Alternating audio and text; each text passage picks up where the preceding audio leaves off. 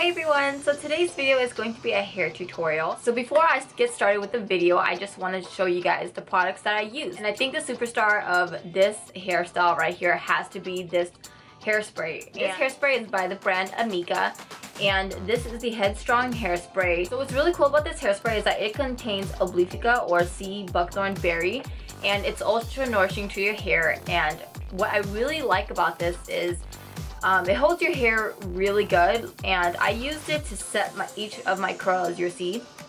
I used it to set each curl and even when I brush it out there's no flakes at all and it still holds my curl pretty well. It does feel a little bit, um, not crunchy, but it just feels like, you know, there is a texture, which I'm totally okay with because my hair is so fine that um, I feel like there is no texture to my hair and it just feels really good and it really holds the curl in place. This is now my new Holy Grail hairspray. These products were sent to me by Amika and they were sent for, for review and I just want you guys to know that um, all opinions are my own. They're not paying me to like love their products, you know what I mean?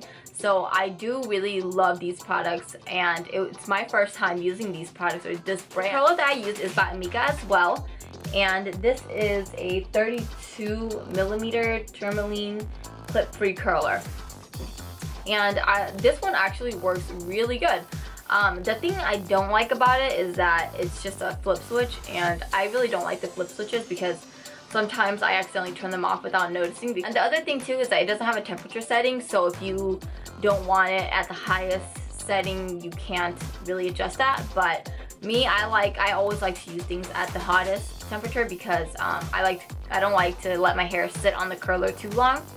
So I really like the temperature of this. So this goes up to 400 degrees Fahrenheit and it has a 9 feet swivel cord which is really cool because I have this plugged in on my wall over there and it does have the swivel cord which is really convenient when you're trying to like curl your hair.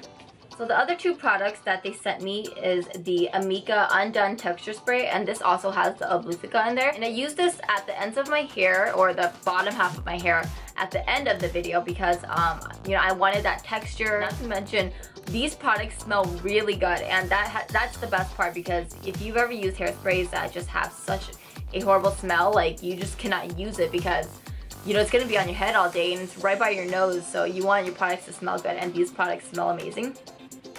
And um, this is the Perk Up Dry Shampoo and I use this to really lift my hair because I washed my hair yesterday but um, I don't know like my hair I don't know if it gets oily really fast but it was it wasn't super oily but I like to just use dry shampoo anyway just to give it uh, more of a lift and just kind of give it a little bit of texture. The other tool that Amika sent me is the Pro Series Tourmaline Curler and this is the 19 millimeter.